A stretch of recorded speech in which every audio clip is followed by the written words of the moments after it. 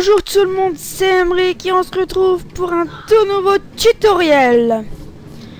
Voilà, sur euh, comment faire, euh, bah, comment marchent les rails détecteurs sur Minecraft. Parce que dans le dernier épisode de tuto, je vous avais montré comment marchent les rails boosters et comment faire un aiguillage. Mais là, je vous ai pas montré comment les rails détecteurs marchent. C'est facile, vous verrez.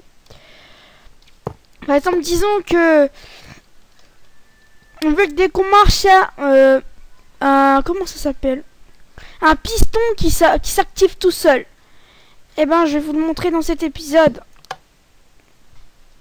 Vous avez juste à mettre un piston ou sinon on va mettre quand ça passe un bloc de TNT s'active. Je sais, je fais un peu le fou, mais euh, voilà.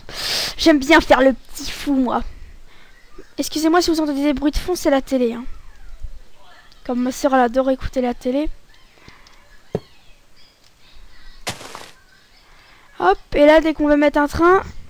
Mince, mince, mince, ils adorent, ils adorent faire ça Minecraft. Quand ça bug... Hop, et ça va s'activer. Bye bye. Ça, c'est un truc... On va le reconstruire. Avec de la dirt des petits trous comparé à ce que j'ai vécu euh, hors vidéo. Hein.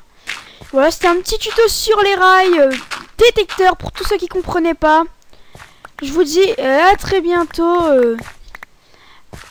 Abonnez-vous à ma chaîne et bonne fin de journée ou bonne fin de matinée. Ciao et abonnez-vous.